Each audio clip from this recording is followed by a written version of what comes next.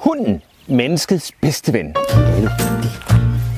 Og fordi vi er så gode venner med de her firebenede, så betyder det også, at de skal med os overalt. Så velkommen til Bilbasen Guide, hvor jeg denne gang giver dig gode råd til, hvordan du på bedste vis transporterer din hund i bilen.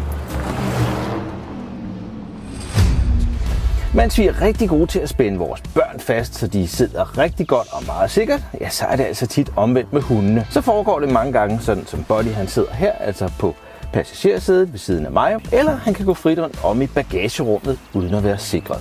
Selvom det er hyggeligt med en hund på passagersædet, når man er ude at køre, så er det på næsten alle tænkelige måder en rigtig dårlig idé med en løsgående hund i kabinen. Fordi en opbremsning kan betyde en katastrofe, hvor hunden bliver sendt igennem kabinen og rammer dig eller dine medpassagerer. Og crashtest viser, hvor hårdt det kommer til at gå til. En hund som Buddy her, der vil veje ca. 35-40 kg, når han bliver voksen, han vil blive omdannet til et flyvende objekt, altså næsten et projektil på 1100 kg ved en katastrofeopbremsning på 50 km i timen.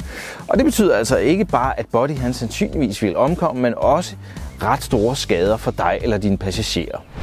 I Danmark er der af urensagelige årsager overhovedet ingen krav eller regler for, hvordan du skal transportere din hund i bilen. I andre lande, som for eksempel Tyskland og Sverige, gælder der strenge regler for, hvordan hunden skal være fastspændt. Og det gælder altså også, når du er på gennemrejse og på ferie.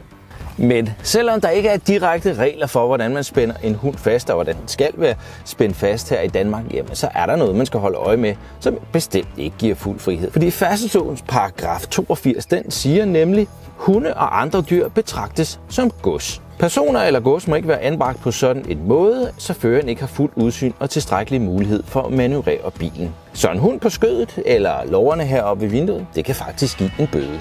Men hvad gør man så for, at hunden den er forsvarligt med i bilen og er godt sikret? Bagagerummet er faktisk det bedste sted til hunden. For at du kan have hund i bagagerummet, så kræver det en eller flere ting. Du kan vælge et hundegitter heroppe foran, som altså sikrer, at hunden bliver herom og ikke flyver igennem kabinen. Men det bedste det vil nok være at have en hundekasse herom, og den fås i flere udgaver. Enten så er det sådan en slagfast aluminiumskonstruktion med MDF-plader, som helst skal navles fast til bunden af bagagerummet. Men det kan også være sådan en sammenklappelig kasse, som det er her i Bodys tilfælde.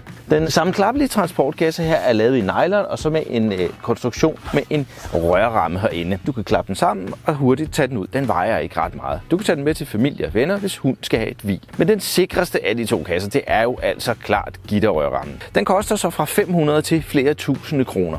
Den her nylonkassen, den koster fra få hundrede kroner op til en 5-600 kroner.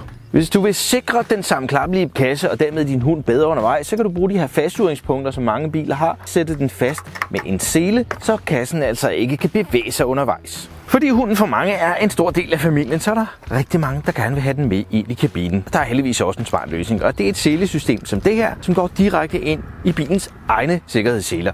Dermed kan hunden altså sidde for sig selv på sædet og stadig være forsvarligt spændt fast. Den selekonstruktion, jeg bruger til body, når vi er ude at køre, det er en såkaldt H-sele, som går rundt om forbenene her ind under kroppen, hvor der så ligesom er et bælte. Og det man så gør, det er at sætter den her sele på heroppe øverst op i øjet, og så spændes den altså ind i kliklåsen hernede, præcis som den sele, vi selv tager på. Den skal selvfølgelig være godt tilpasset hundens krop, og der må altså ikke være ret meget plads at give af. Man skal kunne få et par fingre ind rundt omkring, men ikke mere end det. For både hundens og bilens skyld, så anbefaler jeg et tæppe, som hunden kan ligge på. Det beskytter sæderne og giver hunden lidt ekstra komfort. Hvis du er empfindelig over for din bil, altså tænker på gensalgsværdi, eller hvis det er en leasingbil, så kan du også få sådan et heldækkende tæppe til bagsædet. Det sidder fast med spænder heroppe på nakkestøtteren og dækker simpelthen hele sædet. Og så er det smart, at der er lommer her igennem, som gør, at selen kan gå igennem, så body han stadig kan være spændt godt fast, når vi er ude og køre.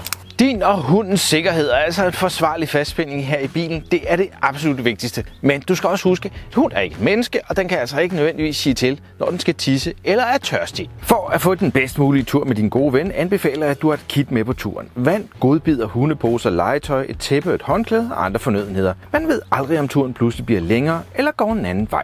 Til sidst får du her fem råd til, hvordan du sikkert og komfortabelt har hund med i din bil. Tip nummer 1. Vend din hund til at køre bil så hurtigt som muligt. Helst fra den helt lille valg hos opdrætteren, så undgår du, at hunden piver eller er bange for at køre i bil. Tip nummer 2. Hunden er sikrest i bagagerummet, hvor en transportkasse står stabilt bag bagsæderyglænet. Tip nummer 3. Efterlad aldrig hunden i bilen i længere tid. Selv på en overskyet dag kan temperaturen hurtigt stige til faretruende temperatur i bilen. Og det samme gælder altså, når det er koldt, hvor der kan blive meget koldt i bilen. Tip nummer 4. Er hunden med i kabinen, så spænd den fast i en sele, som kan sættes ned i en af bilens selelåse. Tip nummer 5. Hold mange pauser på lange ture, så hunden kan få vand og komme ud og tisse og eventuelt lege lidt.